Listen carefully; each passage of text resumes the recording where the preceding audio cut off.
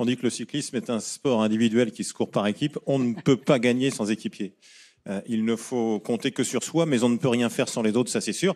Puis j'espère bien que l'année prochaine, puisque le Tour de France va partir de Bretagne le 26 juin, et, et comme tu le sais, le Tour de France le 29 juin va passer par Vitré, tout près d'Etrelles, et que ça arrivera à Fougères. Ça On sent espère bien vous voir évidemment avec aussi Didier Durin, euh, Ça un de nos collaborateurs du Tour, qui, qui vous a accueilli euh, en septembre dernier. Moi, je voulais Christian, je, voulais juste rajouter un, je- je prie, un petit dernier mot parce que Ouais. Jean-Christophe n'est pas là ce soir, mais euh, il était exemplaire avec Léo. Il, ont- il a passé un moment mais incroyablement bon et ça fait du bien quand on est malade. Et pour nous aussi, on est là, le Téléthon, ça nous rebooste.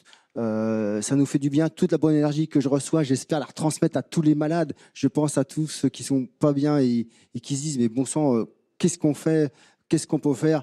Allez-y, euh, il faudrait que le compteur euh, monte d'un coup là. Vous qui êtes chez vous, euh, levez-vous, Ben regarde, levez-vous tu le et dis, puis ça bouge. faites un don, vous verrez, ça, ça fait du bien.